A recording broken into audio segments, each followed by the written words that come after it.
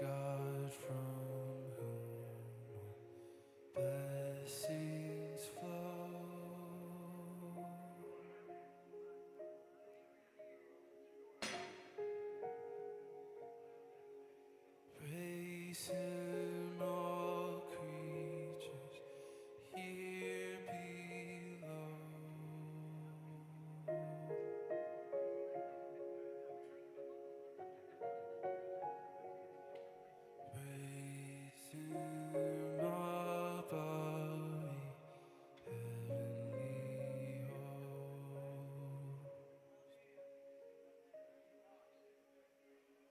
praise for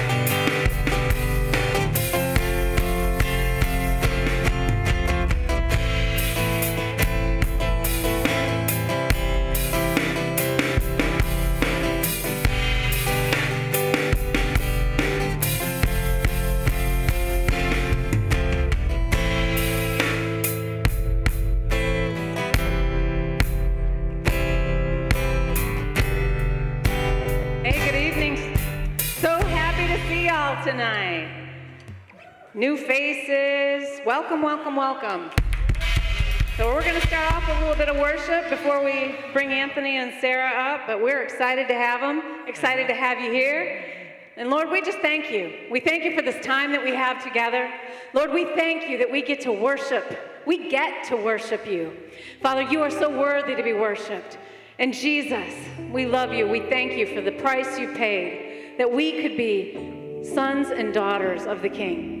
Amen. Lord, we welcome you. We Yes. welcome your presence in this place, Jesus, and we say, Have your way. We give it all to you tonight, Lord. And we thank you. We give you praise and honor and glory as we sing a new song unto the Lord tonight. In Jesus' Amen. name.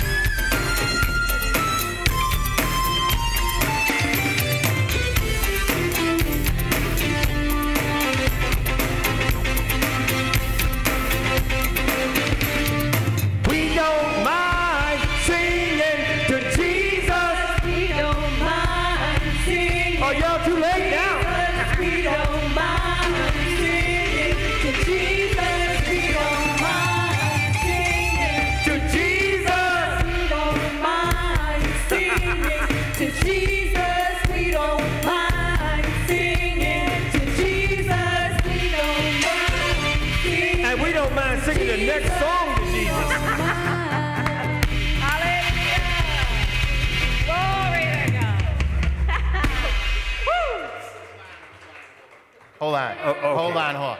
I don't think they're ready for the next song. You don't think so? You ever heard of like Battle of the Bands kind of thing? you know, like they sing "We Don't Mind," and then you sing louder than them, singing to Jesus. Can we, can we do? Can we have some fun with this a minute? Are we okay with having a little bit of fun? I still love to have fun.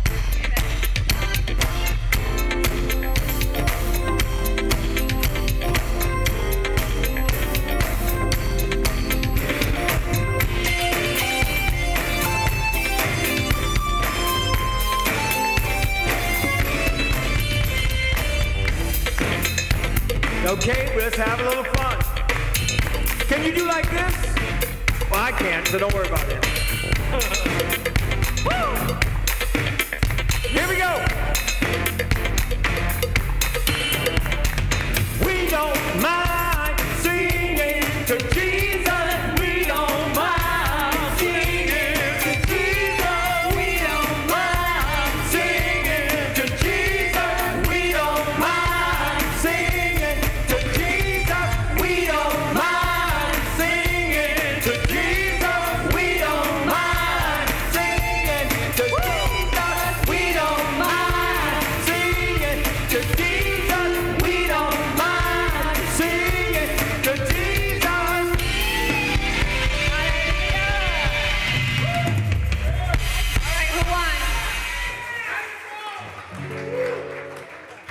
I don't know what y'all came to do, but I know uh, I said I wasn't gonna make it tonight. Guess what? But God. Amen. God changed it. So I came to give him all the glory, honor, and praise. Did you come to give him all the glory, honor, and praise tonight? Come on, shout Jesus. Jesus.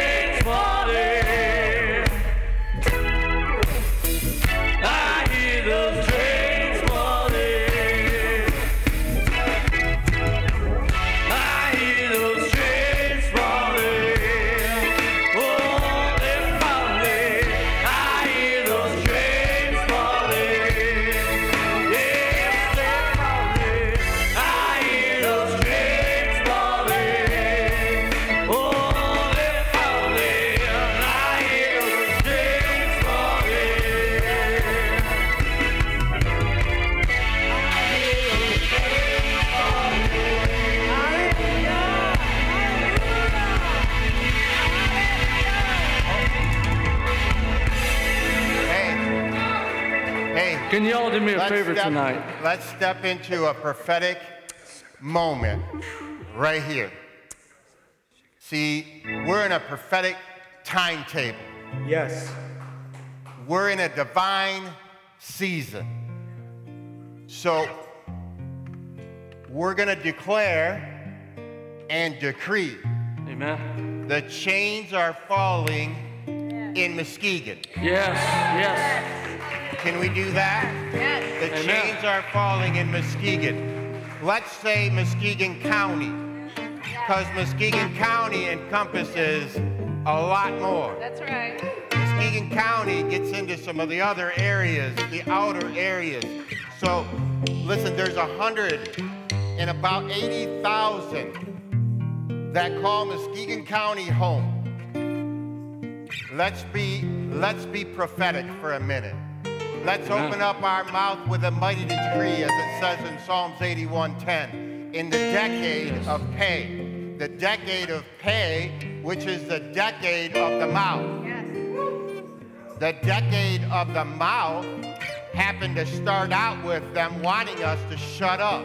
Yep. Guess what? The church isn't shutting up anymore. The church eyes shutting up.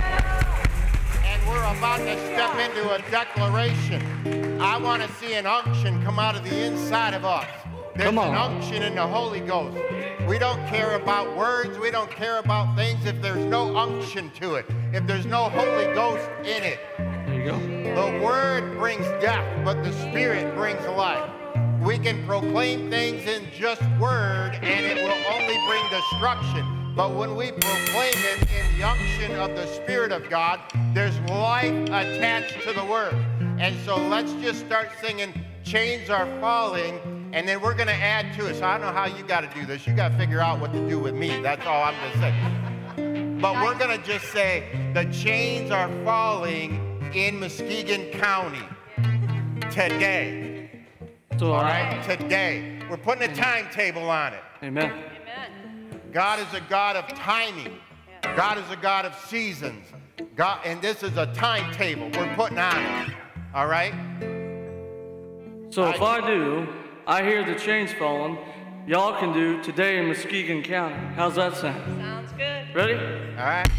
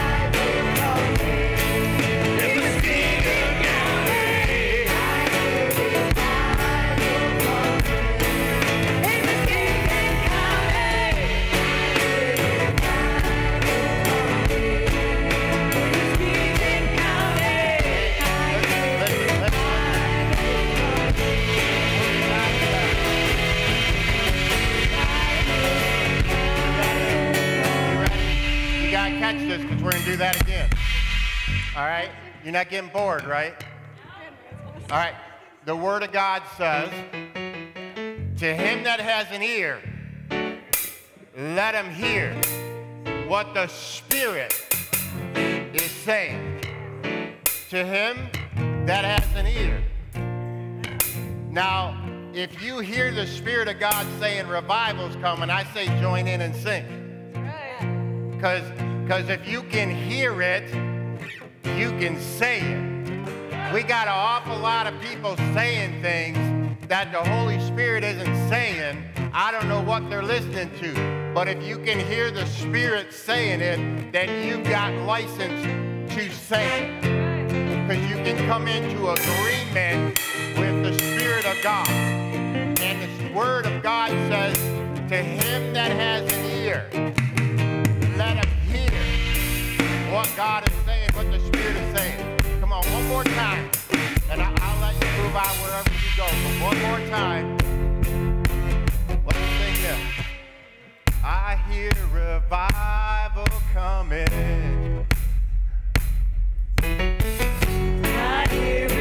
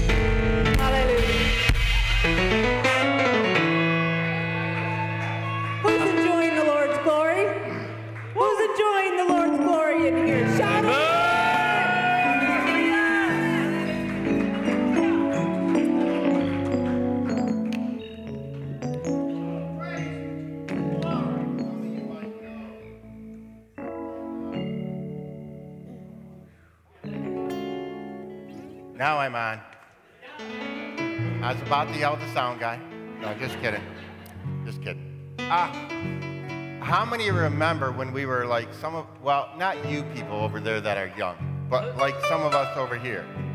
Like you remember when we were in school? Like how many remember, how many guys played sports? You played sports? How many ladies in here played sports? I, I, there was this thing that the coach used to always say don't leave anything on the field.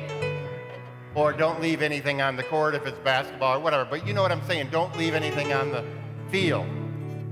I don't know about you, but when you worship God and give Him everything you can give Him, and it gets a little sweat going, and it gets a little energy going, I just feel like God's up there. He's like accepting our sacrifice of praise. He's accepting it.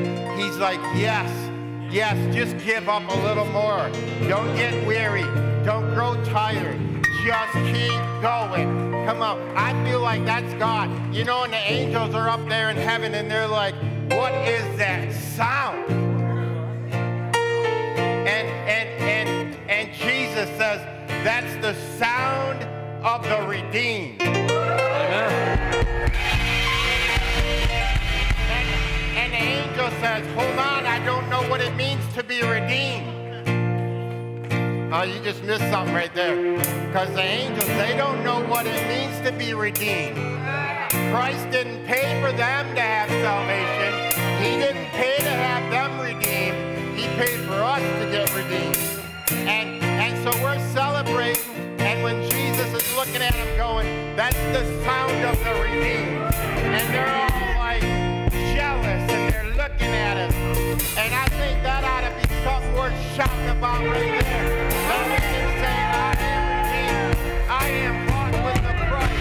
I have not the ability to pay, but he paid price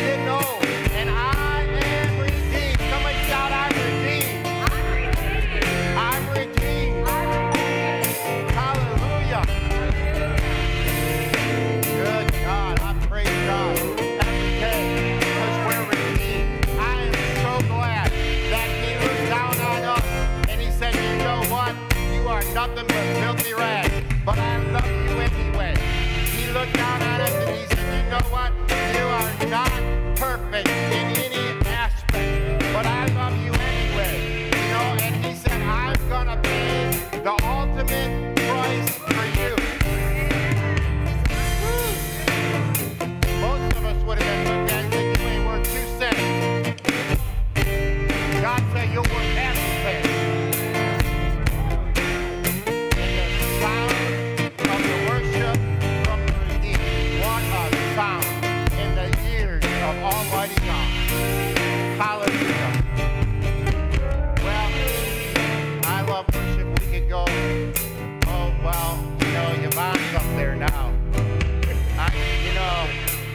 Yvonne's up there. I got I guess whatever's going on up there. You, you, do you, do you know, do you know that song about the redeemed or something? There's a song like that, you know? Yeah, let the redeemed of the Lord say so. Or were you, are you finding something else? I'm gonna find something while they're Yeah, I know you're wearing camouflage, but I can see you.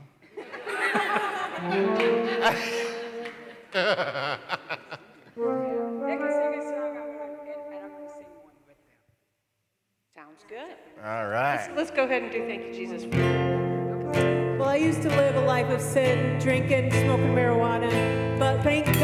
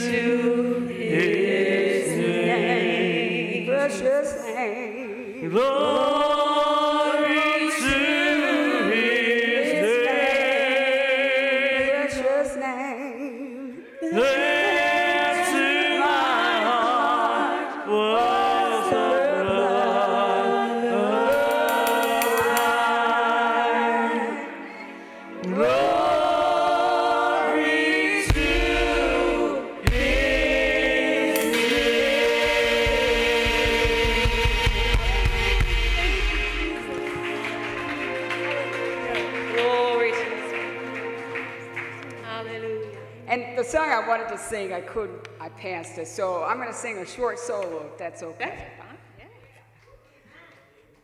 That's Silver and gold, silver and gold, I'd rather have.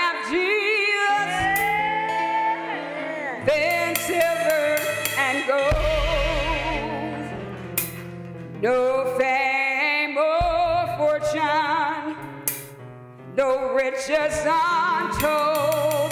I'd rather have Jesus, rather have Jesus than silver and gold.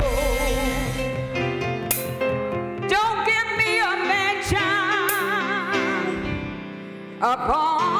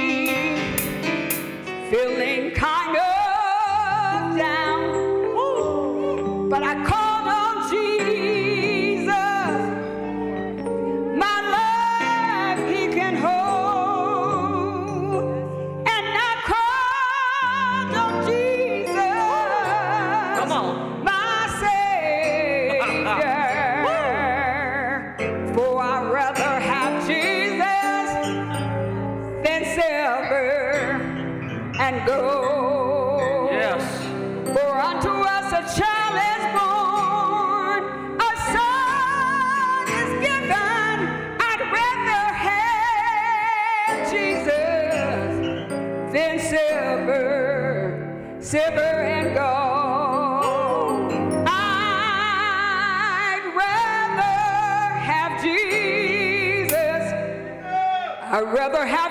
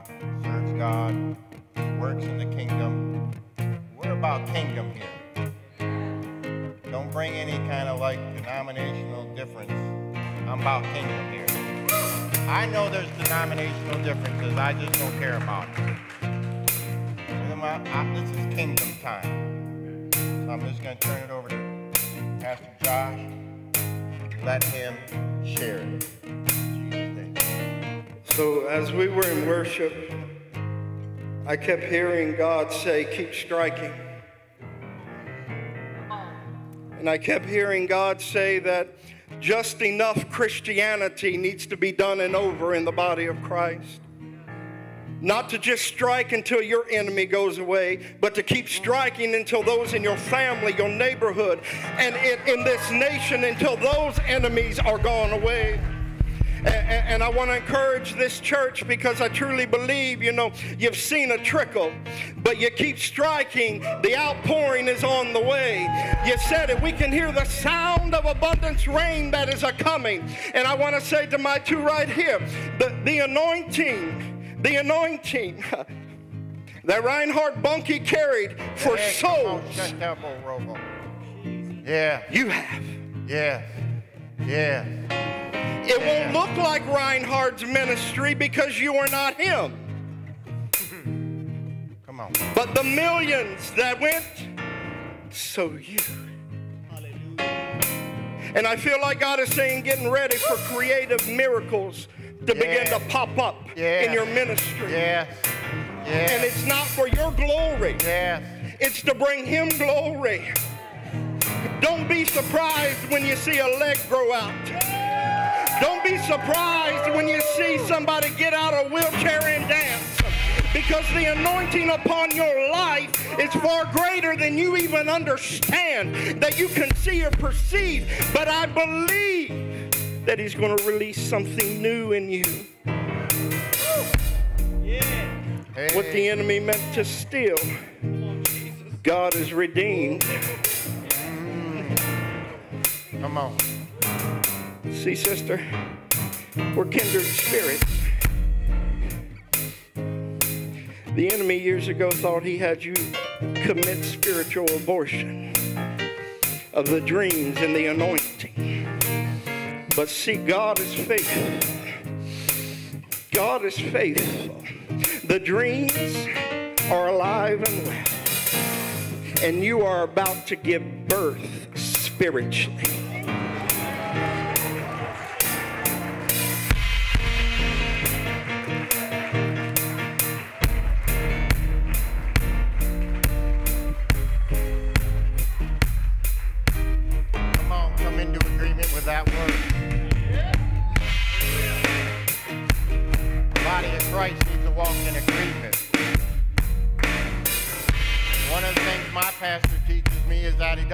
Prophesy to somebody, but prophesies through them. So if you're in here right now and you'd love to have an anointing of God that can walk in miracles, See, I, I remember when we started this church and there was about 10 of us or 12 of us in here, and we had, and we, we decided to play some video on some old revivalists. And we played this video for a John G. Lake. How many know who John G. Lake is? Some of you? Some of you know who John G. Lake was? He was alive during the bubonic plague. And he was the only one that, as everybody was dropping like flies, he would go out and bury the dead. And all of the leadership would go to him and say, Please don't do that, because you're the last preacher we got left. We can't have you die. And they took the bubonic plague and with a microscope, they put it in his hand and they watched it shrivel up and die.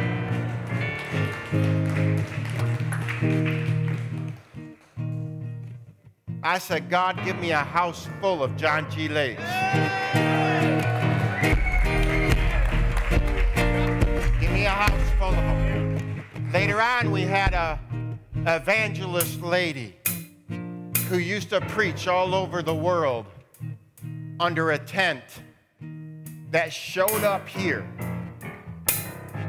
like in a minute's notice. I got a call, and this is not an exaggeration, at about 11:30 at night on Saturday night. This lady's in town. I'd like her to come to your church and preach. I said, "All right, bring her in." I came in here on Sunday morning and told everybody, by the way, we got a special speaker coming. When she walks through the door, I don't know what she looks like. And that lady preached. I think she was 80 years old. And she preached. And when she got done, she said, I feel like God wants to lay the anointing of John G. Lake in your house. You didn't hear what I just said. She wasn't here when we played the video. She wasn't here when I asked God. But she showed up here and she said, God is going to bring hundreds out of this ministry with the anointing of John G. Lake.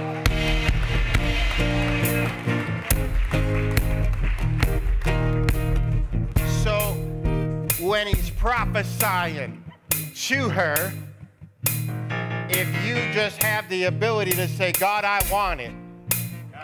Now, now, now, now, let me fix something because sometimes in the church we get a little confused. We think there's no price.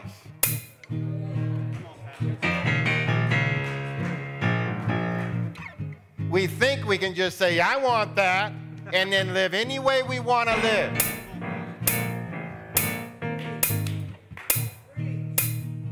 That ain't how God works. He rewards those. he rewards those who diligently seek Him. You can't seek God and live in sin at the same time. You can't do it. I say, God, why don't I see the healings that I want to see? I go, God, this is me. All right, me. God, why don't I see this, the healings I keep hearing you're going to give us? Why don't I? And you know what he says to me? See, I don't have a problem with saying the truth.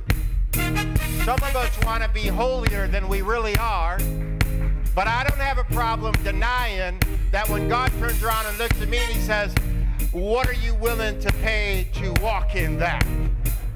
See, when God starts stripping stuff away, you got two options. You run away from God, or you go to the only source left.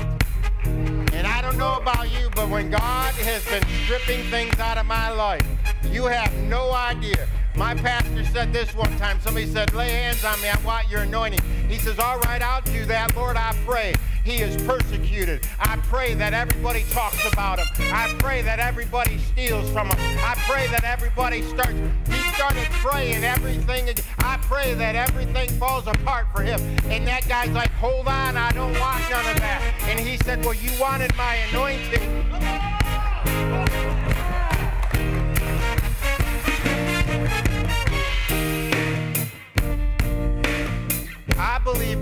Going to pour out.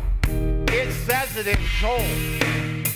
God, if we'd ever get back to the Word of God, stop all this extra biblical prophesying and start getting back to the Word of God, we know that the Bible says, I'm going to pour out my spirit upon all flesh. We know we can get there. We know He's going to do it. What I'm wondering is, are we going to be more hungry for Him, or are we just going to be satisfied to be complaining? You know what I'm saying? We just kind of get in that mode to complain. God, I don't have the house I want. God, I don't have the car I want. God, I don't have. You know what? Neither do I. I just put $15,000 into a pickup truck that the motor blew on. That's sitting in a lot in Grand Haven. I don't care. Somebody's like, well, I don't care. I'm not mad. I just look at it and say, hey, devil, what are you going to replace that with? Because you stole it, you going to bring it back because I know who stole it.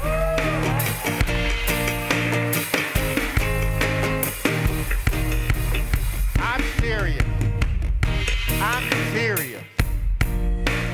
I'm not playing. I love to have fun, but trust me, I know when I move into something, I'm not playing. And I'm here to tell you, man, we are on a we are in a season.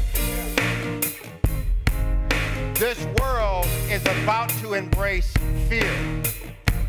I just wonder if the body of Christ is going to do the same thing. Or will we grab a hold of our Savior, our King, and our Lord and say, In you I trust. I look to the hills from whence my help comes.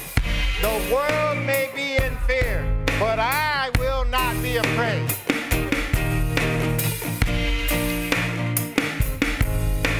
You're living in a biblical season like nobody else has ever lived in. Let me just tell you that right now.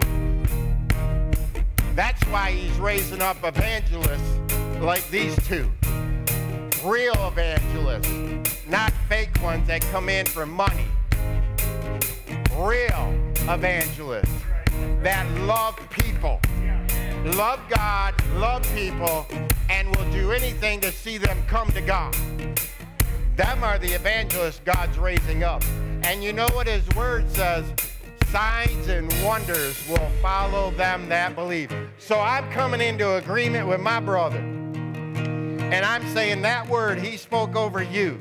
There is no doubt in my mind that that is an accurate word. And all you need to do is keep preaching the word and let the signs follow. And you're going to see it. You're going to see miracles. You're going to see creative miracles. You're going to see people coming out of wheelchairs. You're going to see the blind eyes opened up. You're going to see them deaf ears come open. You're going to see people who were down and depressed that are going to stand up and be full of strength. You're going to see it. You're going to see it because you're going to be faithful to the Word of God, to the heart of God. Hallelujah. Hallelujah. Hallelujah. I got a transition because they're here from They're here from Tennessee. They didn't drive all this way to listen to me. I can tell you that. But we're gonna.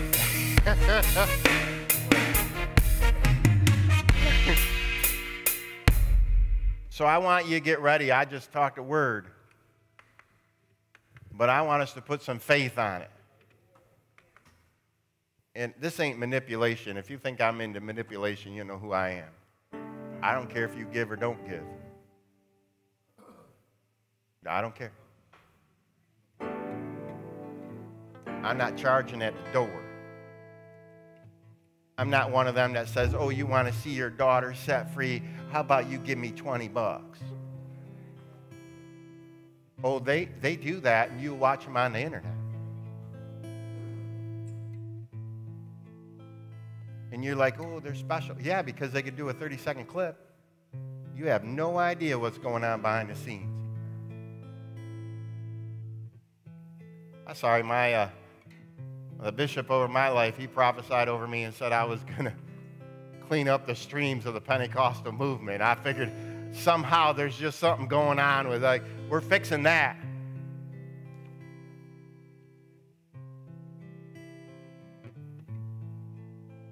So I just want you to sow into their lives because you know what? They've given everything. I know. I know. They go in the streets. They pray for the people that some, of us would not even want to sit by. Like you get up move because they don't smell good. But they pray for them. They go wherever God tells them to go. They've been in the streets of Philadelphia where they're sitting on the sidewalk while their bodies are melting off them from drugs that somebody's getting rich off while the life is being destroyed. And then you look at the church and say, all the church wants is your money. No, all the drug dealer wants is your money. tell that to the guy that's picking up the girl in Walmart and taking her into a sex trafficking trade and then say the church wants your money. No, all he wants is the money. He don't care about the life. We do care. But this ministry is worth it. And so we're taking an offering tonight to put in their hands because we believe in their anointing and their call and their heart. And so I just want you to look at it like partnering with them. And how many people will come up to you in heaven and say, I'm so thankful you gave, because if you hadn't, I don't know I'd be here.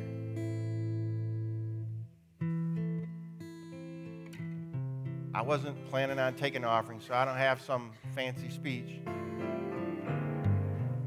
I'm just saying, if we're ready, I'm going to give you the opportunity to give. There's a slide. Can you put the slide up for giving? It's on there. For those of you that aren't from here, we have like multiple ways to give. You can do you can do uh, text to give. You can do an app, download One Church app and give, or you can just text give an amount to that number, and it'll it'll come here. In any any of them ways, we still take cash. We haven't gone to that yet. The world's trying to go there. You know, I, I just I want you to know we're in the last hour. You know, some are you guys aware? Well, I've been getting like text messages for the last hour. Well, it's already 7:30. Wow. Uh, we just started. You know, there's a war that just started. Iran and Israel just went to war. My pastor says it like this. He says it's it's when the front page of the newspaper starts reading like the book of Revelations.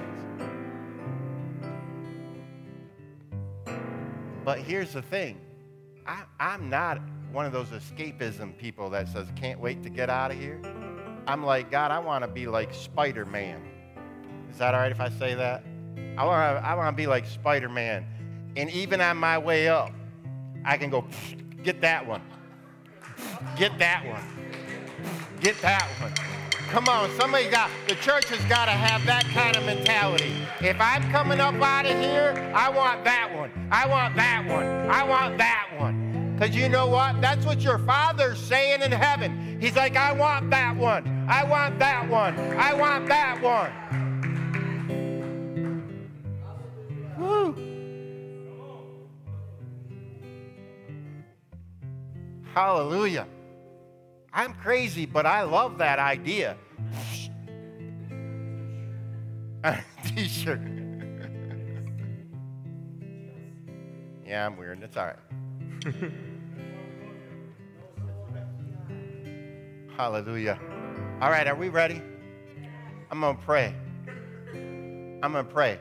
Let me let me say this to you. One of my favorite scriptures in the Bible is is is Jesus in the book of John standing in front of Lazarus' tomb. And he says this. He, says this. While everybody's mourning and weeping around him, he steps in front of that tomb and he says, Father, I know you hear me.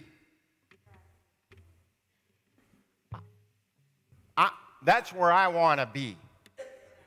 Father, I know you hear me. So I'm going to pray right now over your giving. And I'm saying, Father, I know you hear me.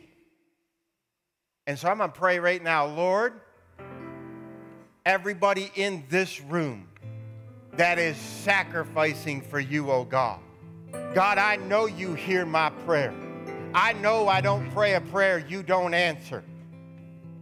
And God, I pray right now, that everyone that sacrifices for your kingdom, that you would reward them more than they could ever imagine. God, I pray that in their giving, they gain a peace that surpasses all understanding. God, in their giving, they will gain a joy that's unspeakable and full of your glory. In their giving, oh God, they would find freedom to walk in your presence, oh God. I pray as they give to you, oh God, you will give to them exceedingly abundantly above all they could ever ask or think, oh God. And you would meet every need in Jesus' name. Hallelujah. Uh-huh. Amen. Miracle worker, promise keeper, light in the darkness. My God, that is who you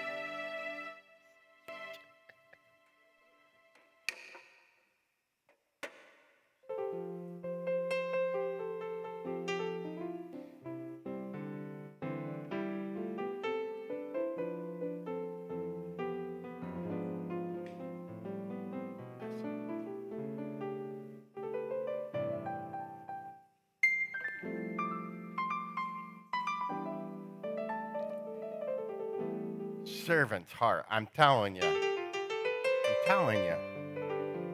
One of the greatest servants I have ever met. As a matter of fact, I'll change it. He is the greatest servant I have ever met. That's why I love him so much. I don't know what to do without him, you know? Well, one of the happiest and saddest days in my life was when he called me and said, Pray thinking about marrying this woman and going to Tennessee. And I'm like, Lord, I ain't praying.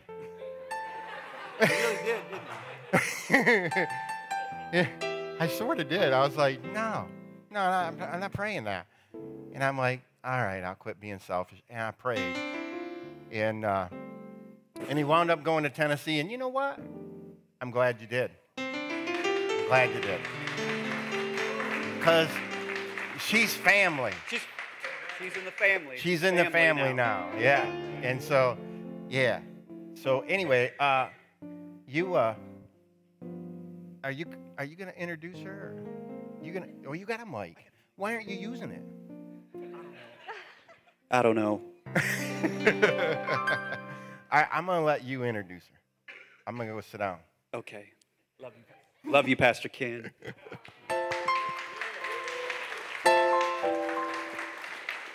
I'm going to share a couple of things here real quick. Are the books down there? Yeah, they're right there. Let me get those. Thank you, babe. I'm going to share a few things, and um, and then uh, and then Sarah Myers Greve is going to come up and bring the word tonight. She's going to bring the fire because she's a fire carrier. You know, and I want to just say we have so many friends in the house tonight. Uh, so many friends, family. Um, we want to say we want to see everybody. So before you go, we're going to be out there. Come by, come see us, give us a hug, and we want to just have, be able to connect with everybody. Um, and thank you for those of y'all who give, and for those of y'all who gave and support our ministries. And you know, people don't understand the cost of, of, of going. You know, every, t- every time we do an outreach, whether it's in Louisville, Kentucky, or we go to Philadelphia, people don't realize. I mean, it costs three to five, uh, it costs anywhere between three to 10 grand. Every time. Every time we go.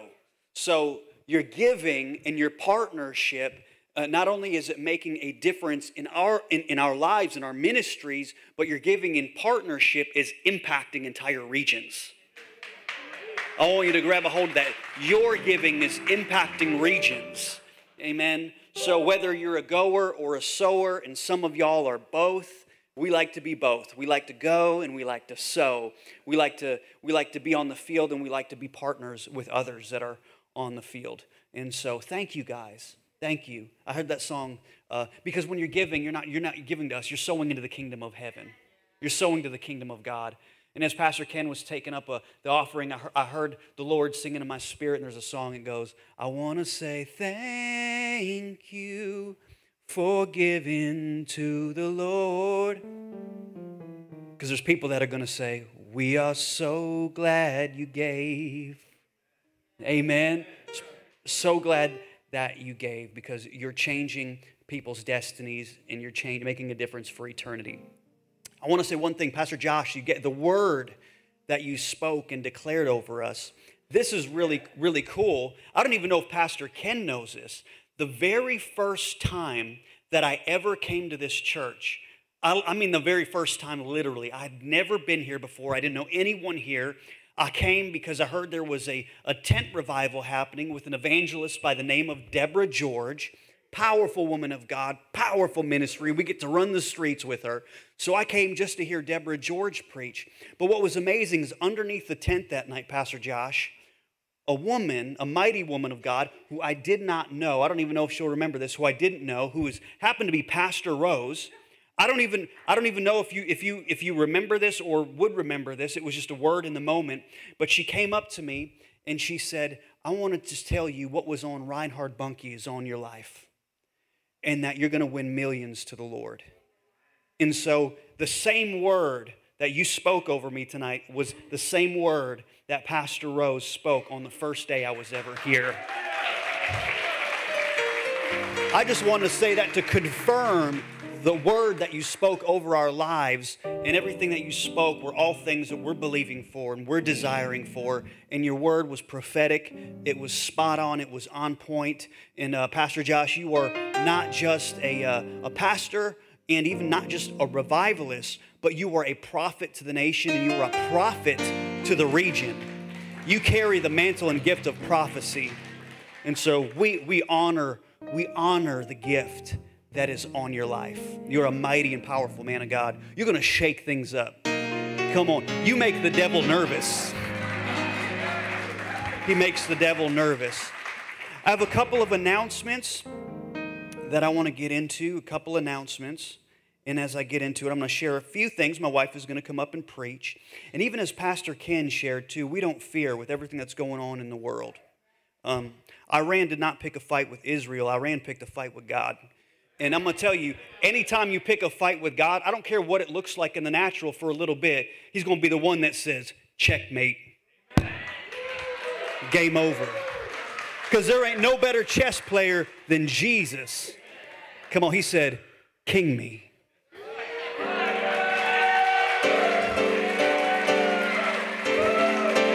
They didn't pick a fight with Israel, they picked a fight with God. That, ain't ever, that don't ever end well. Um, Amen. And so let me get into a couple announcements. I want you to afterwards stop and meet us at the table. We're going to be at the table. You can sign up for our newsletter. You can get more information about the ministry. You can become a, a partner with our ministries, with Invitation Ministries, with Anthony Greve Ministries. Hope that's all right, Pastor Ken, that I share that. You can become a, a ministry partner. Um, you know, you can check out the things that are happening with our ministries, stay up to date with us, find out what's going on in our world of ministry and evangelism. We have books. Uh, you can stop by. Miss Tammy, wave your hand. Miss Tammy will be at the table and come and say hello to Miss, Miss Tammy. You can be a blessing to Miss Tammy. She's been a great blessing to us great asset to our ministry. She, and God has done wonders and miracles in her life and through her life and is going to continue to do that. You're just getting started. Amen. But I want you to stop by the table. You can pick up our books. I have a book called Delivered from Evil. It's kind of a pun on, play on words since I came out of a band called Pop Evil. Uh, but it didn't have, but it doesn't have so much to do with the band as much as it does with fighting the forces of darkness in our world. Amen. So you can pick up my book, Delivered from Evil. And my wife has a book called Three Days in a Haze. You need to get it and you need to read it. Read it. It will change your life. It will transform your life. It will touch your life. You know, people see us and people look at our lives and it just seems like this is the way that it always was. That, you know, this is just, and I'm telling you, it's not the way that it, it always was. The anointing has done an amazing work in and through our lives. Uh, you know, you're gonna you're gonna hear from a woman tonight, and I don't know if she's going to share any of her story, but you can read it in the book. We didn't start off as preachers or church kids. Come on, you're, you're, gonna, you're about to hear from, a, from an ex felon who was arrested over 26 times, who sold dope, cooked dope, ran for dope, and, uh, and was hooked on the, the needle for over 12 years. Come on, if God can deliver her, that should put a shout in your spirit because that means that what that means that what God can do for her, God can do for you. I don't know what your struggle is. I don't know what your battle is. Come on, but I know that there's a God who in heaven who overcame every addiction, every struggle, every uh, source of depression, every devil, and he wants to do miracles in your life tonight. Amen. So stop by the table, uh, get a, a hoodie. Uh, there's a, you could get a Revival Lives in You hoodie. We have music. I'm, getting to do music again. I'm writing music again. You can get a, I've got a QR code that'll take you right to my website, which will take you to our books, which will take you to our, our music. My wife just put out a, a powerful song called The Fire. Uh, if you haven't heard it, you need to hear it. You can you can YouTube it. You can um, get it on Apple Music, Spotify, iTunes, all the platforms. It's called "The Fire" by Sarah Myers Greve, and it's a song that was birthed out of pain, and uh, there is an anointing on it. Amen. Sunday, that's tomorrow. I had to think about that. Tomorrow, tomorrow morning. If you got saved last night, if you made a decision for the Lord, or you've never been baptized, we're going to kick off the morning with a Holy Ghost party and we're going to do water baptisms in the house. And so I'm excited because uh, one of my cousins, I got a cousin over here, by the way. Crystal, we love you. Ryan, we love you. Thank you guys for being here. And uh, I got a cousin I'm getting to baptize tomorrow morning, so that's exciting. I, that's exciting. Come on, that means there's going to be more of the Greve family in heaven. Because he's already done made a decision for Jesus. Come on. Uh, hell lost another one. And uh, that's exciting to me. So, we're going to be doing water baptism. So, bring a pair of shorts, a black t shirt, a towel, a change of clothes, and get ready to get dunked if that's you. And uh, we're just going to have a fun time baptizing people in the presence and the glory of God. Luke, we got to do this with you about a year ago. And ever since then, we've watched God just change and transform and do miracles in your life. Sunday night, I'm getting ready to wrap it up here. Sunday night, we're going to be, it's going to be a worship night.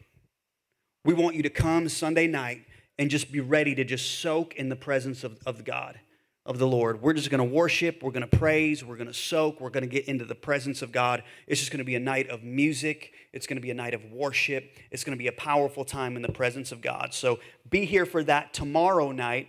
And um, that's going to be our last night, unfortunately. But hopefully, we get to come back and see y'all soon.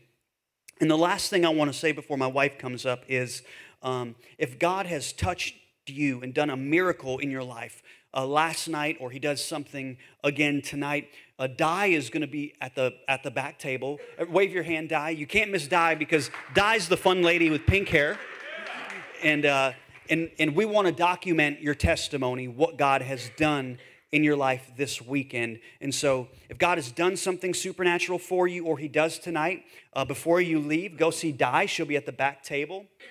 And um, we just want to get a two to three minute testimony of how God touched you, maybe a miracle He performed for you, or just something that He's done in your life. Amen? It's exciting. I'm going to pray, and then my wife is going to come up and bring a word. So, Father, we just thank you for your presence that is real, that is tangible, that is transferable, that you are not a faraway God, but that you are a God who is right here in the right now, in the moment, at the right time. And there's no situation that is too hard for you. There is no one who is too far from you. No matter where we're at, God, you have the ability to reach down into a jail cell. You have the ability to reach down into a bathtub. You have the ability to reach down into the darkest gutters of the world and pull us out and clean us up and put us on platforms for your glory and for your kingdom. And so tonight, Father, as we worship you, as the word comes forward, God, I pray that hearts are open to receive. I pray that tonight people I pray that tonight people's lives are radically touched, radically changed, radically shifted, that they receive something from heaven tonight, that as they walk out of this room, they will know beyond a shadow of a doubt, my life will never be the same. Amen. In Jesus' name, amen. So help me welcome to the platform my, my beautiful bride, my queen, my compadre in the ministry, Miss Sarah Myers Greve. I love you.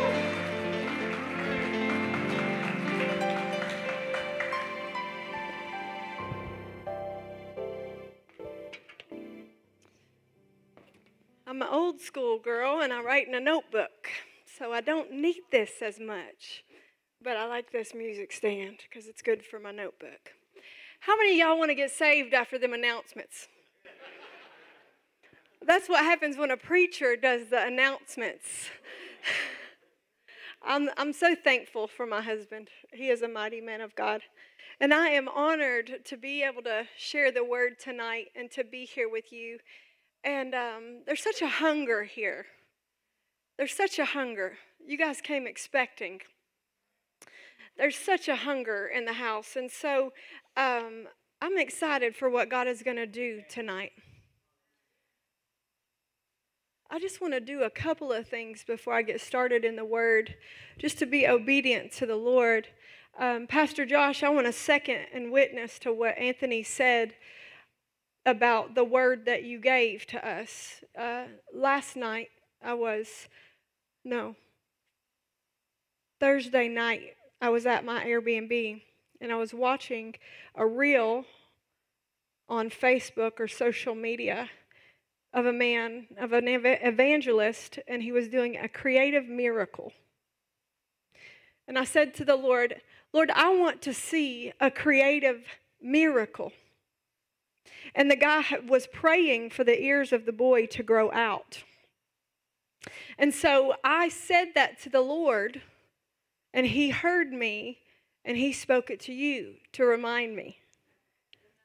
And so I just wanted to say thank you for being obedient to the Lord and give a witness to what you said. Amen. Amen. If you were here last night and the Lord healed your body or touched you or you had the power of God, you encountered the power of God, will you stand?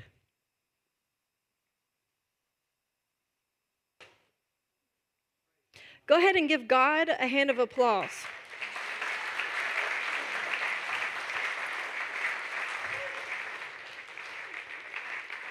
There were backs healed, uh, people were set free. I mean, th- God was just moving in a powerful way last night, but He's not done. And He knows your need, and He knows exactly why you came. And He loves you, and He wants to meet that need. He's going to do that for you tonight. He's going to do that for you tonight.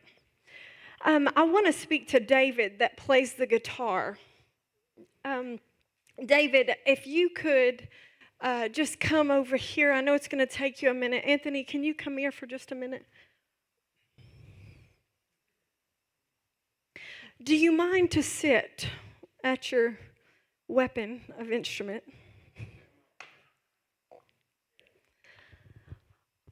When you play the guitar, heaven's ear bends down.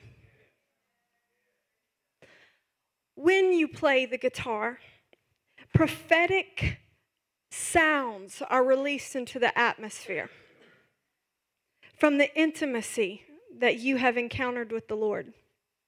And He will use your worship and the instrument, even the tension.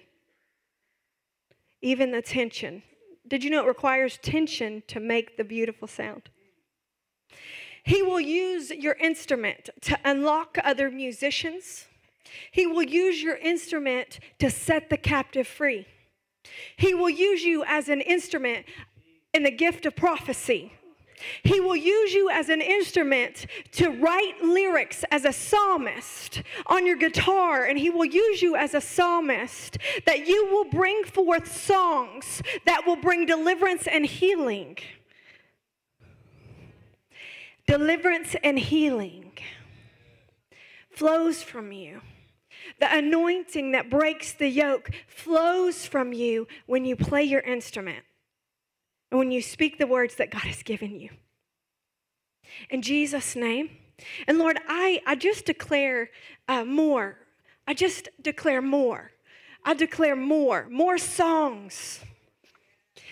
more songs, more keys on the, the, the guitar of this weapon, God, that you have given him and this gift that you have given him. And I even see it crossing nations, it crossing territorial lines, it crossing over America into other nations and other regions that you will reach with the gift that God has given you.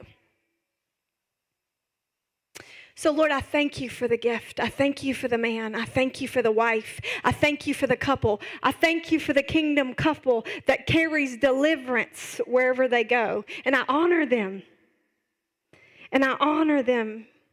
Thank you that they stand for righteousness. In the name of Jesus, they stand for righteousness. In Jesus' name.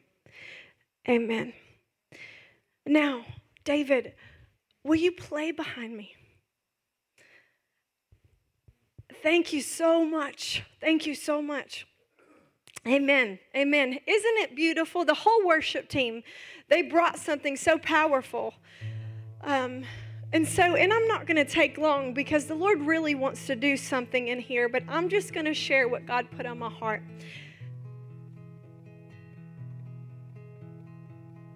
You know, when you're in the anointing, you lose track of time. Do you know why? Because God says a day is like a thousand days to Him. And so when you're in the anointing and you're in His presence, you lose track of time because there's presence, there's comfort, there's power. You're in the Spirit with Him. Does that make sense? Right? Some of y'all have never been in this atmosphere, but you're kind of like, oh man, it's so peaceful in here. That's the presence of God. It is peaceful in here.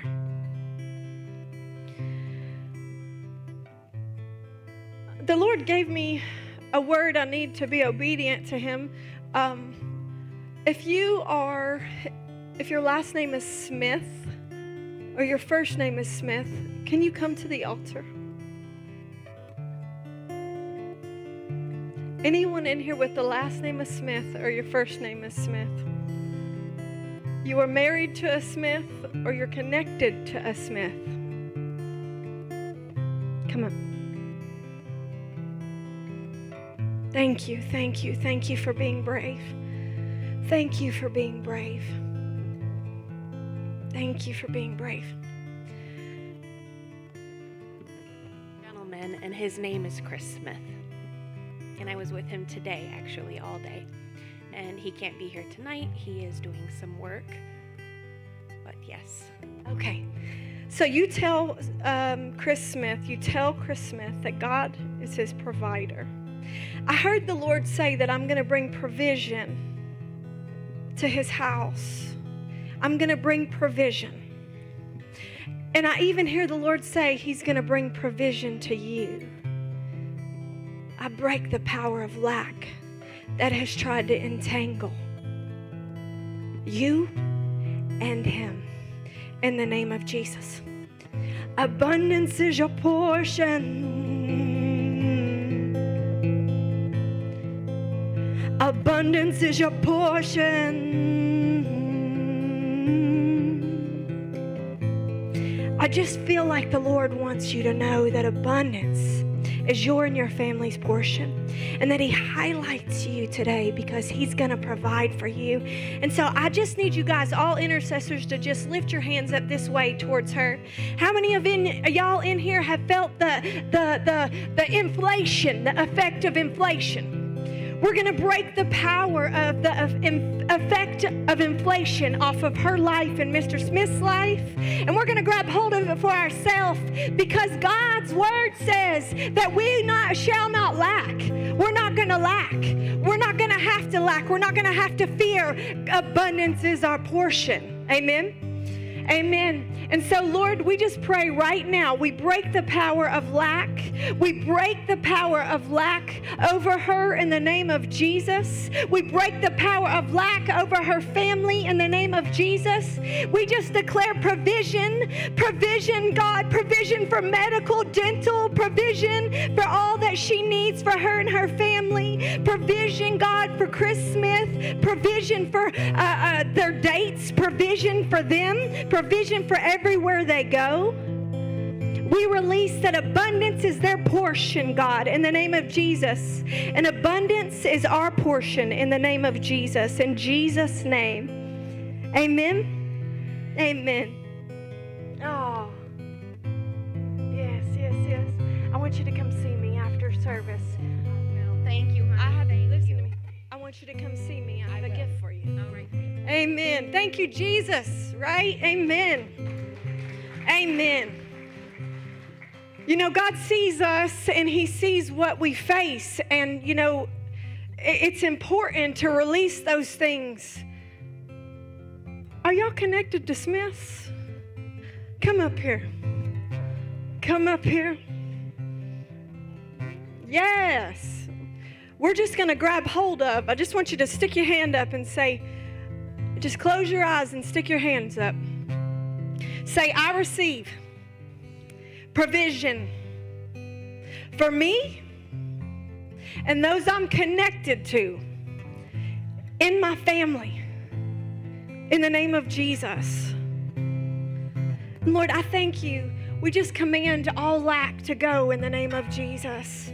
That every spot in their life, that there would be no more lack, that there would be no more lack, no more lack. That provision, provision, provision, provision, provision, provision from heaven. Provision from heaven, provision from heaven. Thank you, Jesus. Thank you for provision from heaven. Thank you, Jesus. Enough provision to provide for them and to bless and sow where their hearts have desired to sow. In Jesus' name, amen. Amen. Amen. Praise God. Yes. Amen. Amen. Amen. Thank you, Lord. We're going to read out of Isaiah 54, verses 1 through 5.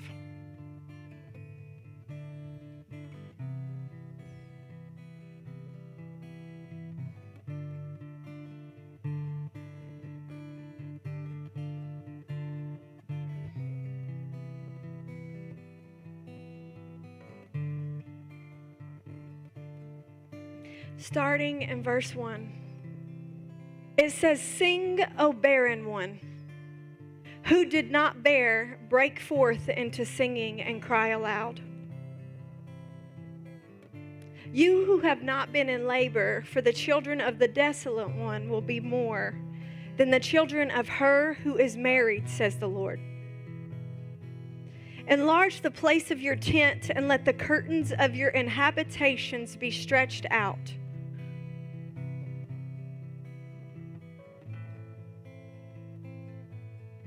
Do not hold back.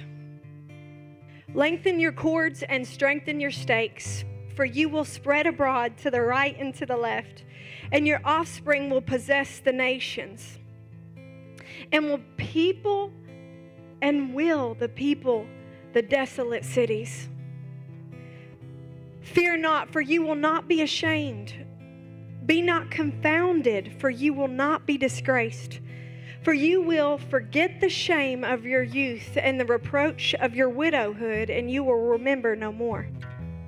For your Maker is your husband, the Lord of hosts is his name. The Holy One of Israel is your Redeemer.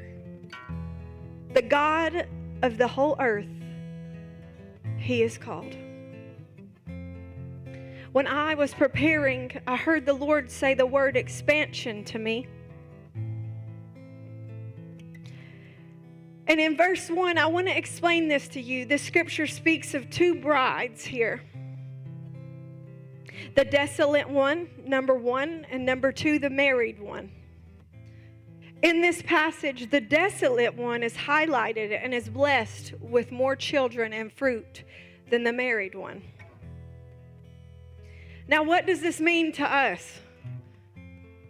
In this time, God was speaking through Isaiah about the married bride, which represented his chosen people, the Jews. That was the married one, his chosen people, the Jews. And the desolate bride was the Gentiles. And we represent the Gentiles. If you accept Jesus as your Lord, then you get drafted in to be one of his chosen people. You get drafted in. The desolate bride represented a rejected people, and some may say fis- misfits. How many of y'all have ever felt like a misfit? Raise your hand. You might feel like a misfit tonight, and I have good news for you. The Bible says that you will bear more fruit than the chosen people.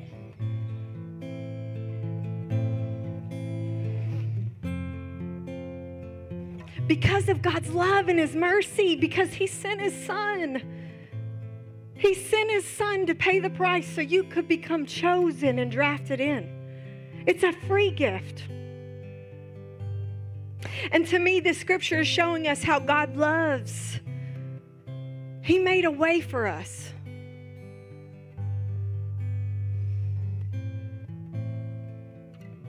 Even as a desolate people. And you see, we received expansion of the blessing through the death of Jesus. And so it's a principle sometimes in the natural that there has to be a death of the flesh to receive expansion of the blessing. So, like Pastor Ken was saying, that some of us want an anointing, but there's a cost. It, there is a cost to walk in the calling of God. There is, but the cost, man, it's nothing compared to the reward. It's nothing compared to what you gain, but it is not for the faint of heart. He's right. You will be talked about like Jesus, and you will be stolen from, and you will be mocked. There are things you have to go through. But as a desolate and rejected bride, weren't you already? Would you rather be talked about for the gospel, or would you rather be talked about for the sin that you stay in? Because, see, you can come out of sin and be doing the thing with Jesus and be in love with Jesus, and it's worth it. It never, it's always like, yeah, I know. I don't care, hater. Jesus has got my back. It's like, okay, I know.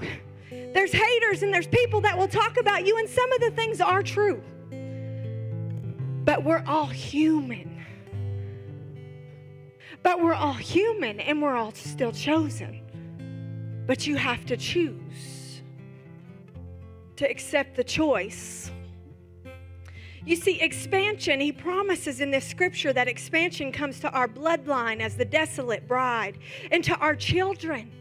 Expansion of the kingdom in our lives, even as a desolate people. And not only that, but he says our descendants will be more.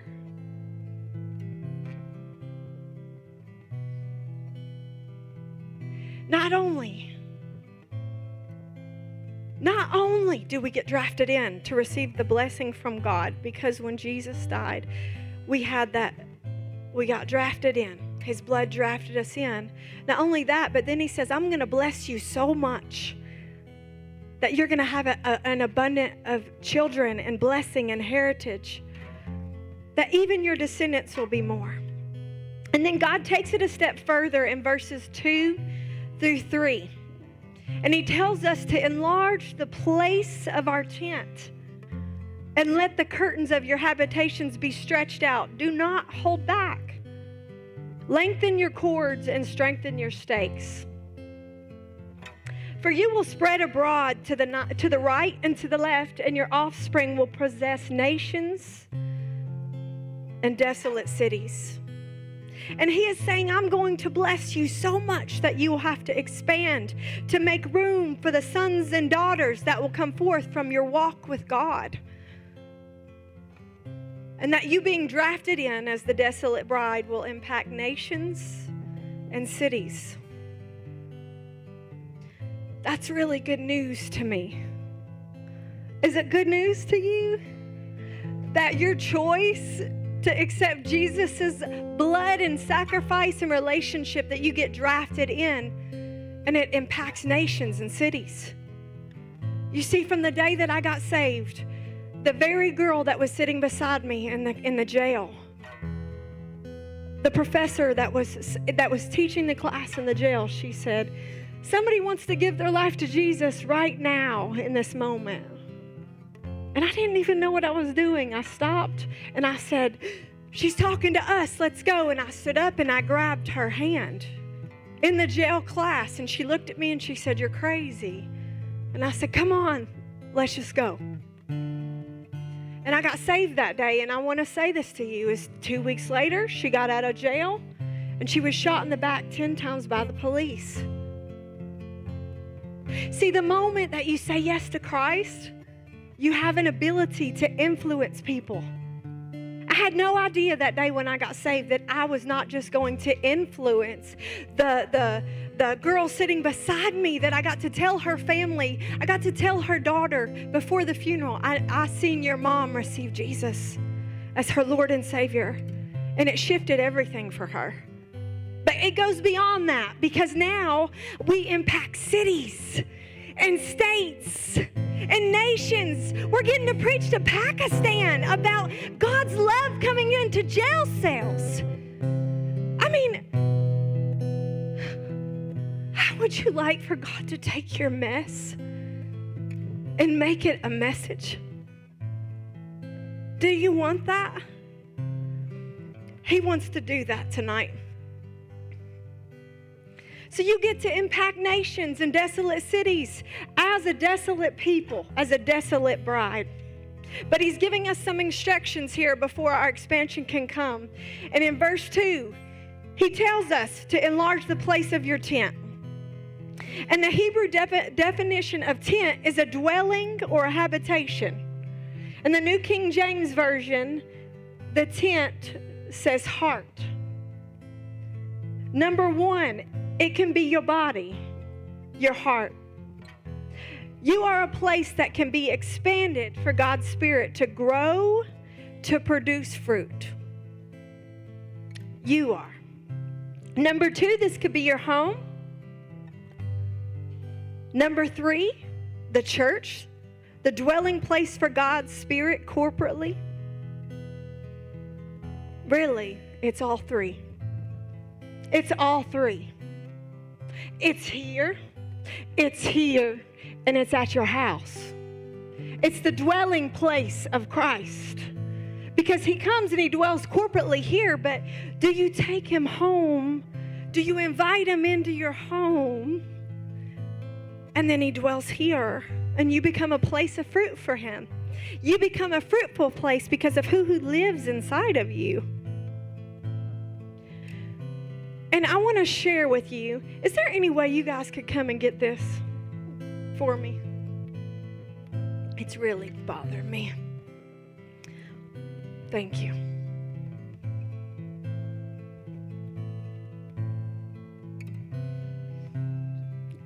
I am. You can take a break if you want. And it can be all three. It can be corporately, like I said, at home, inside of you. And I, I want to share something that I need to declare over this house because about a month ago in my spirit, it was three o'clock in the morning. I woke up and I was asking God, I said, What do you want me to say in Michigan? What do you want me to say? And I heard the Lord say expansion.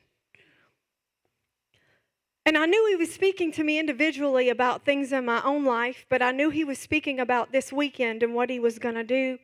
And I began to understand what the word expansion meant in, in the word as he began to, to show me and dissect this word and really get it in my spirit, man.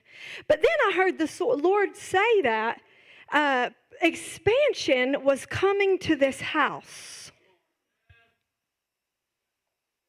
That expansion of sons and daughters, just like you said, of John G. Lake, of people that had that anointing, that expansion was coming to this house. And so, Lord, I just declare, I prophesy over this house, I declare and decree that expansion is coming to this house.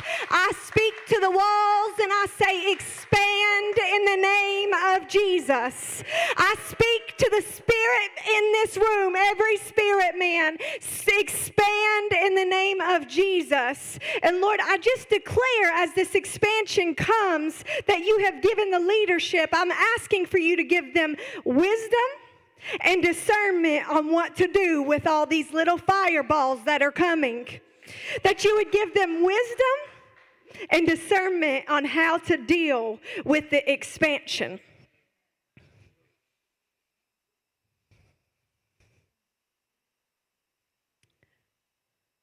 Thank you, Jesus.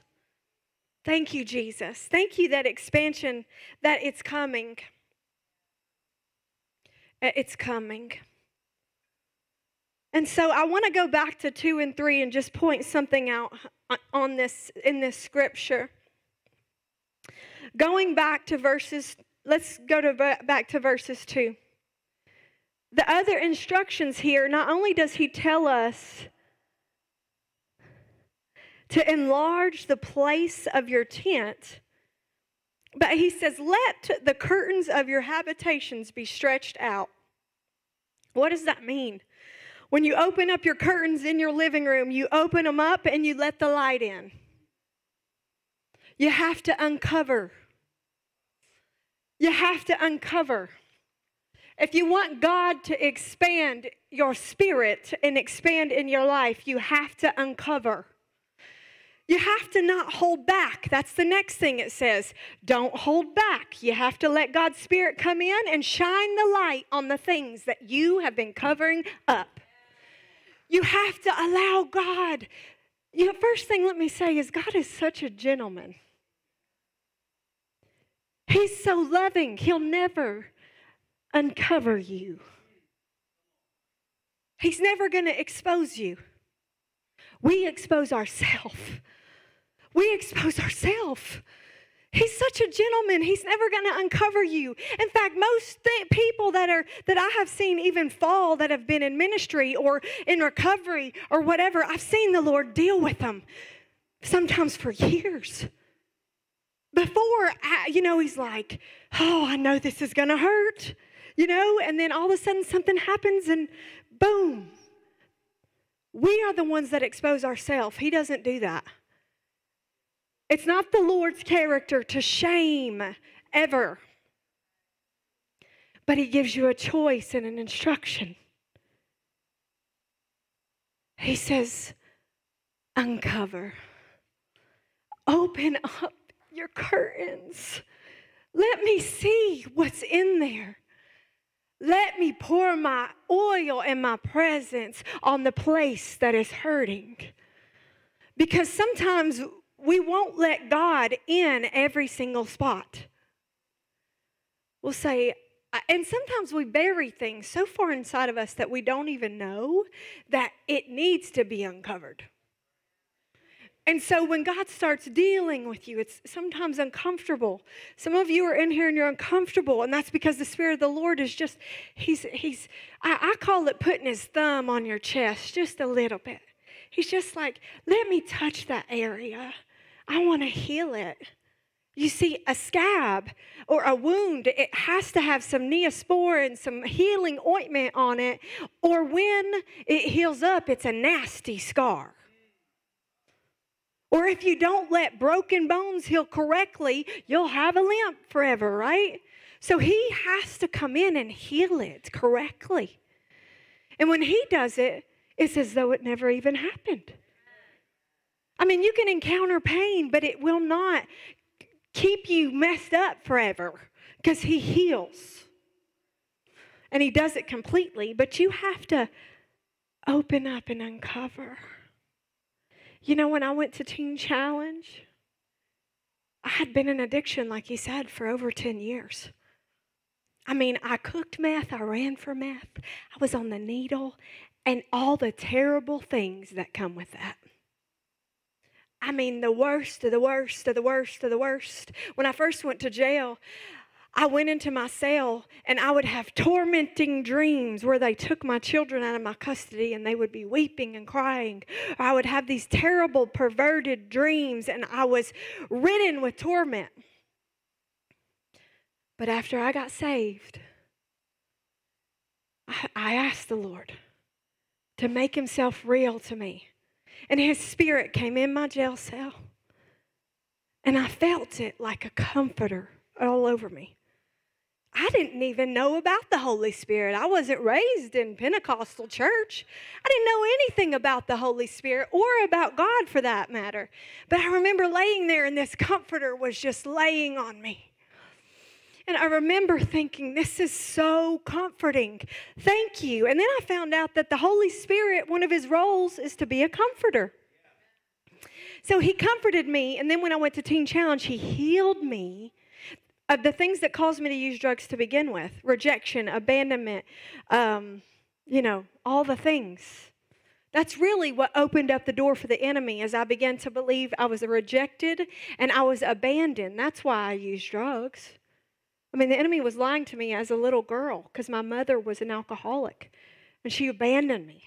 So I began to believe the lies. Well, what happens when you believe lies? You live the lies. Well, then you hang out with other people that live the lies. And everybody's trying to bandage their wound through smoking and drinking and doing all the things. And so that's what I did because I believed a lie. It was all rooted in my belief system. God wants to break some lies over y'all tonight. He's going to bring truth and He's going to bring freedom when He brings truth. You see, when I found out that I was no longer the person who abandoned her children, but I was a new creation in Christ, I walked a little different. I talked a little different. I no longer walked around like, oh, I'm this terrible person. I hate my life. Because that's how I felt for a long time. Anxiety had tangled me up, torment. I had demons. I was on psych meds for 10 years. I mean, it was just terrible. So I walked around that way. But when I found out the truth, it changed everything. Because then I realized I could stop calling myself those things.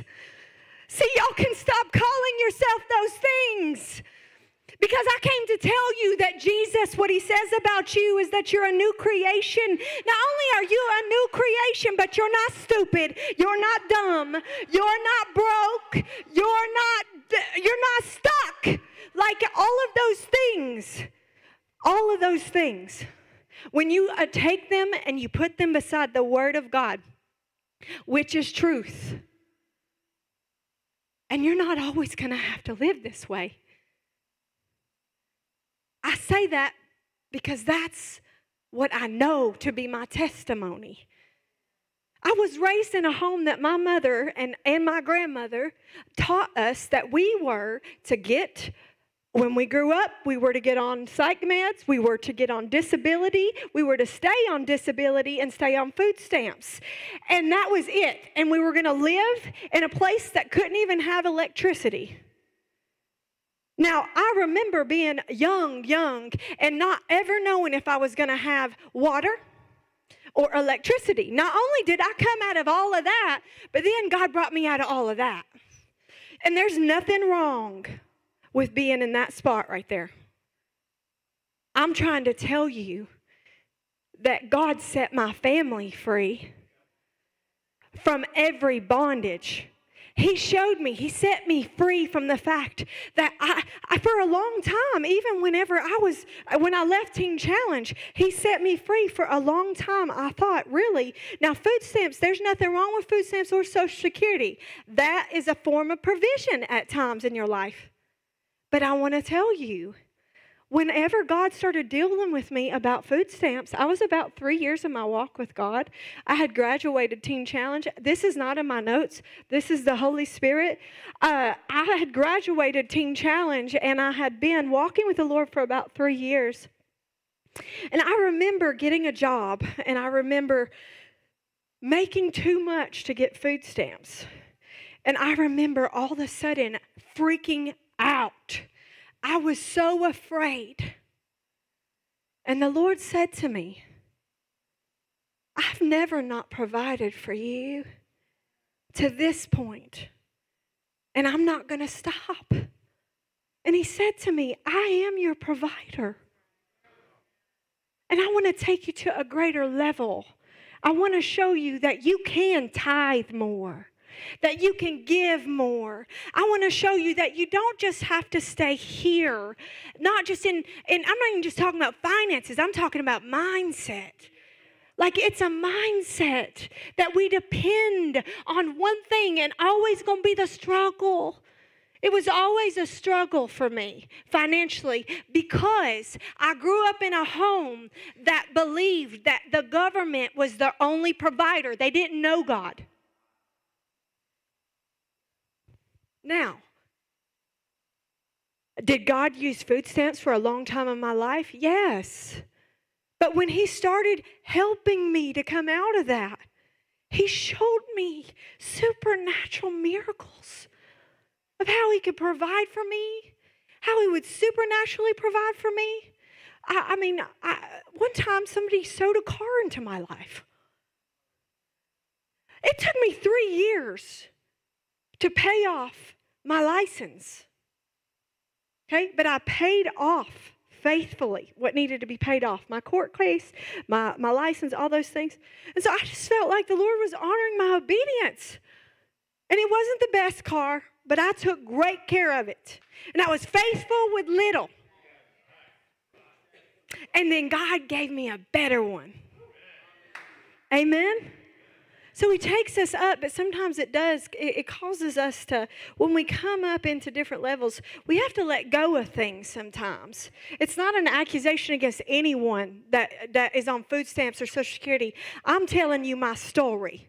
What he brought me out of, that I was in a place that had no electricity or water. And he showed me, I'm never going to let you go without. But I had to start speaking that too. Like, thank you, God, that you're never going to let me go without. You know, I had to start believing it and really start, you know, taking things to Him. And, and so the Lord shifted everything in my life. He provided a home for me and my children. I mean, I, the only reason I was able to have a home was because God helped me get out of debt. Imagine 12 years as an addict.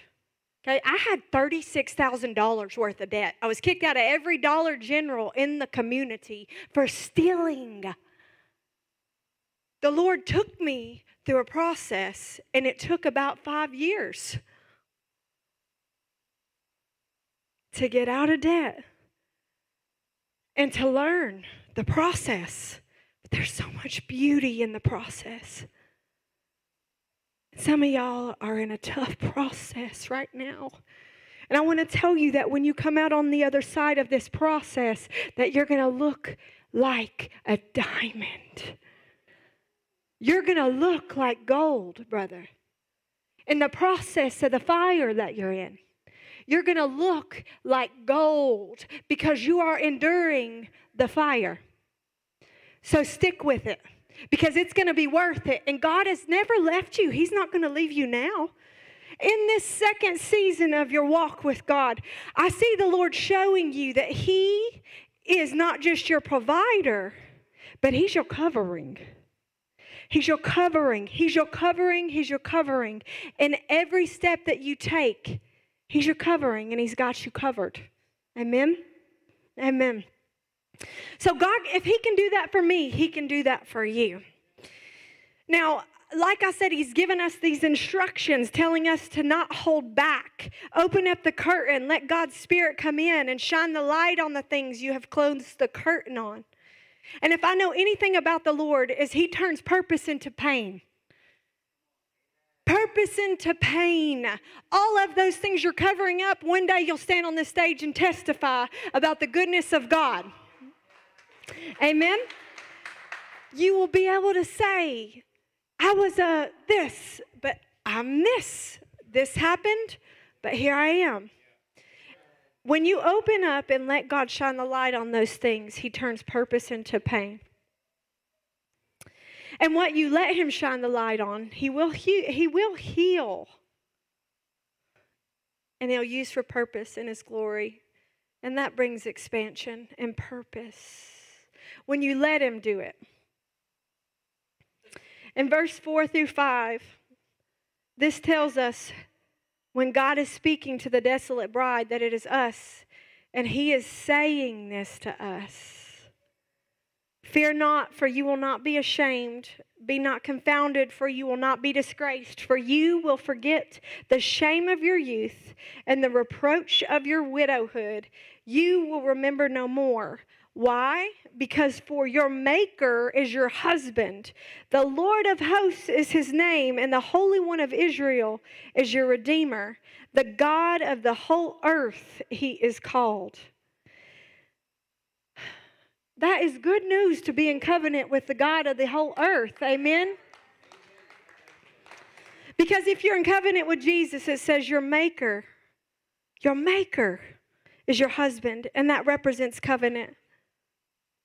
And that all starts with you becoming his bride, with you giving your heart to him. It all starts there. Like you you you may feel like a desolate people, and that's what Jesus is saying that in the desolate place that you're able to become a chosen person. You're able to receive his blessings. You're able to receive those. And I want to share this with you is that the root word of expansion it means expanse, which means firmament. Firmament means heavens. Truly, the only valuable expansion in your life will come from the heavens. Like she said, not silver, not gold. Nothing in this world will satisfy you. Not more money, not bigger cars, not anything will satisfy you. Not more food, not more liquor, not more cigarettes, not anything will satisfy you like the expansion of heaven. More, amen. More of Jesus' presence, more of Him. Only more of Him. And like I told you, I looked for those things in a lot of different places and never received what I was looking for. I was on a rat race, on a wheel like a hamster. It wasn't until Jesus, when He became my Lord, that I literally found what I was looking for. He expanded my life with purpose because I opened up and let Him in. It was hard dealing with all of those things. It was hard being in Teen Challenge for two and a half years.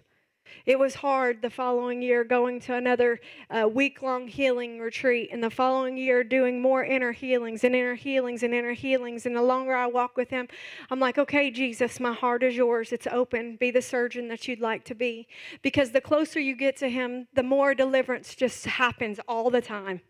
Because if you live in the world, you're, you're, you're liable to get caught up and bound up in something, you know. And so, uh, no matter who you are,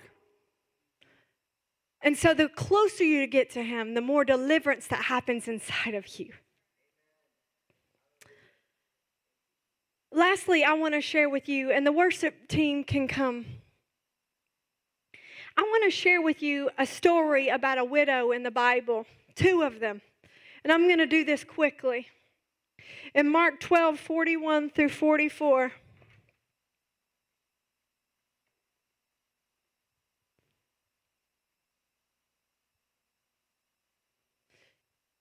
It says, Jesus sat down near the collection box in the temple and watched and watched as the crowds dropped in their money.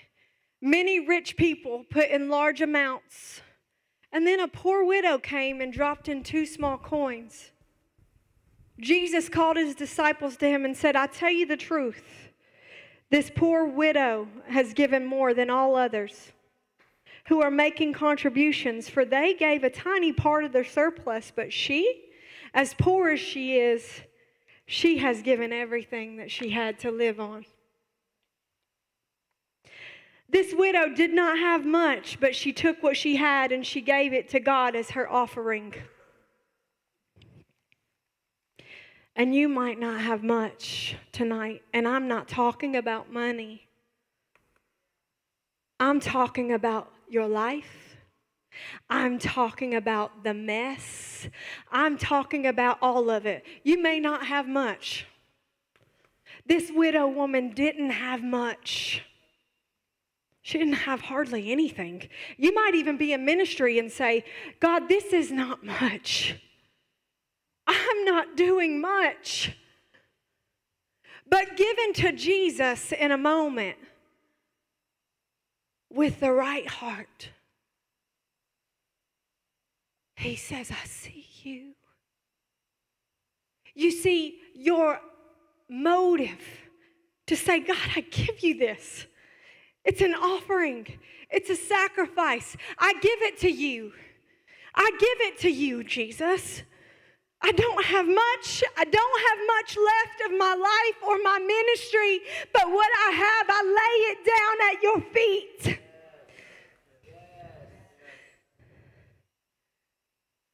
And Jesus would say, I see you before I see these self righteous Pharisees over here that are giving all of this. He sees that. He sees it. And you know, He brought expansion. He brought expansion to my life because I said, God, I'm in a jail cell. I don't have anything. The day that I lost my rights, I went back to my jail cell. After I lost my children, I'd gotten saved not long before that. And I said, God, I don't have anything. But what I have, I give it to you. I don't even have my children now, Lord. But I give you my life. I might go to prison, Lord, but I give you my life. Because I had what I had, I gave it to him. You see, some of you in here, your offering might be your cigarettes. I don't have much, Lord. I'm a smoking problem here, but I give you my mess. I give you my cigarettes, God. It's my offering to you. Some of y'all need to go out to the car and get your vapes, your drugs, your alcohol. You know what? Some of us need to do this. Take this phone. I give it to you, God. Because social media has made us think that if we're not that good, we're not good enough.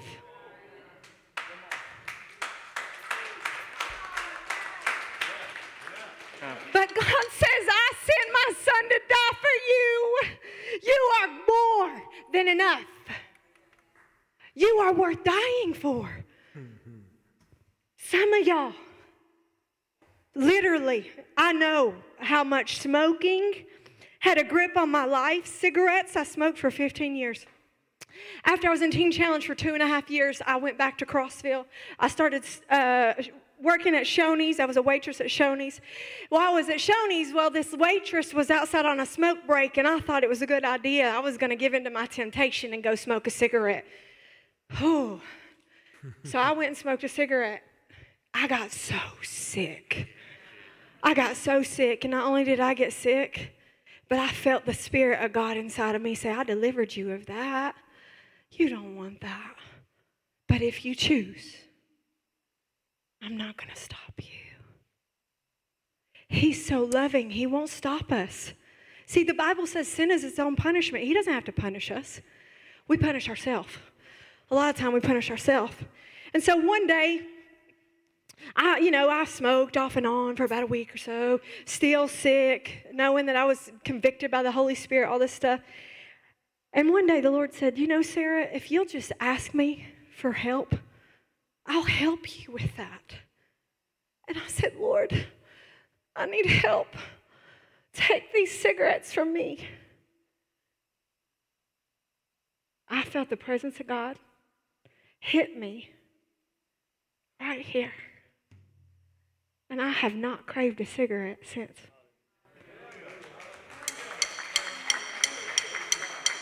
But that was, you know, sometimes that's your offering to God, right? Sometimes it's the things that you hold dearest that, that you hold before the Lord. That it's like, oh, I, you know, it, it- because it's pleasing to Him when you say, Lord, I love you. I want to give this to you. It doesn't look like anything, but He sees the action behind what you're doing. He says, I see your heart that you've been trying so hard. And He comes in and He brings deliverance and He sets you free. So, what we're going to do, I want to tell you about one more widow, and the, um, the altar team can get ready. There's one more widow. Pastor Ken didn't know that he was preaching part of my message at the offering last night. That's how the Lord does. But uh, there's another widow in the Bible that he talked about last night during the offering that there was a widow that gave her last meal for her and her son to uh, the prophet Elijah, right? And so it was her last meal. And then what happened was she never ran out, right? Like God made sure she had enough. But I want you to take it a step further because in the scripture after that, not only did she never run out of food, but then when her son died, she got resurrection power. Because the prophet came in and he rose her son from the dead because he said, Oh, I remember you. I remember you. You gave all. And you see, when Jesus sees you give all, he remembers you. He knows you. He knows your name. He knows you because the Bible says, I created you in your mother's womb. See, when I was in that jail cell, God already knew me. He was just waiting on me to turn to Him and say, Oh, I love you. Be my Lord. I follow you. So we're going to go back into worship. God is going to bring deliverance in this house. And He's going to honor your offering. I'm not talking about money, I'm talking about the thing you hold dearest. And it starts with me. I'm laying my phone at the altar. And I'm saying, God, you get my time. You get it. You can have it. And He wants that from you. So I want you to prepare whatever God has been dealing with you, whether it's drugs, whether it's cigarettes, whether it's alcohol. I don't know what it is. But I want you, as we go back into worship, if the prayer team, if y'all can come and get on these two steps, just over, like right here in front of David and right here, over here, I want you to leave this area open for people who just want to come to the altar. And as we go back into worship, we're going to pray for you. We want to agree with you for your deliverance or for your breakthrough or whatever it is that you're believing God for.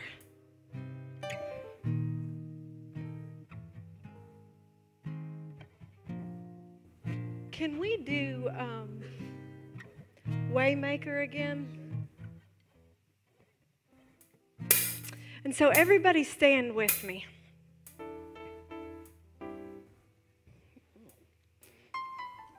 Thank you, Jesus. Thank you, Jesus. Thank you, Jesus. We just say, Come in. Come in. Come in in a greater measure. Thank you, God. We just worship you, Jesus. We love you, Jesus. Thank you, Jesus.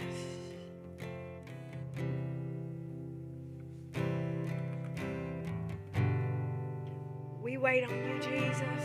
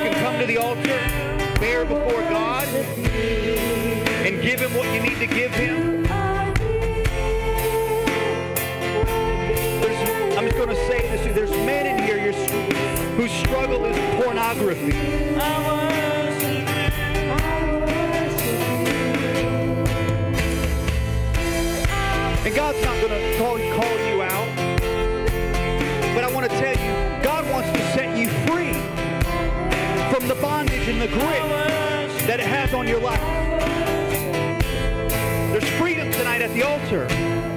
Don't miss your window. Don't miss your opportunity to let God touch you in a radical way to where you might get up and walk out here and have your life totally changed, never to be the same.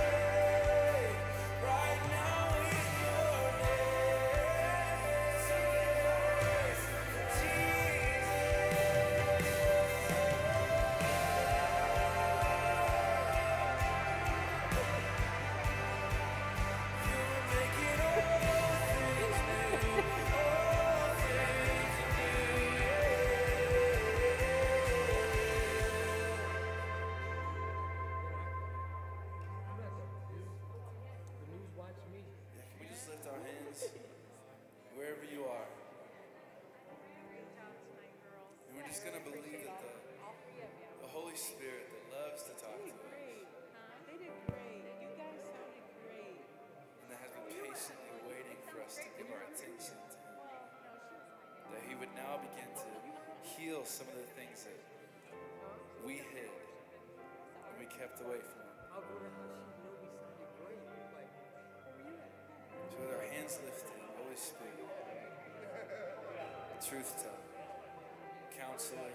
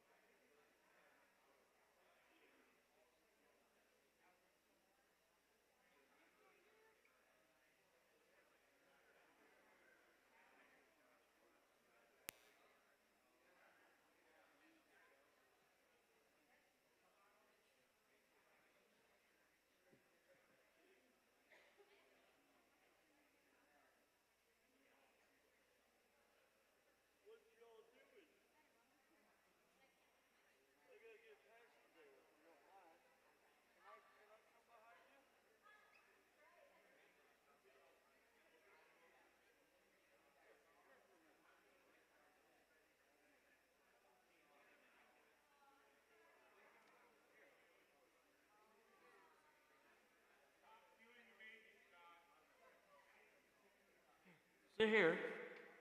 Can we turn around? Oh, hang on. Hang on.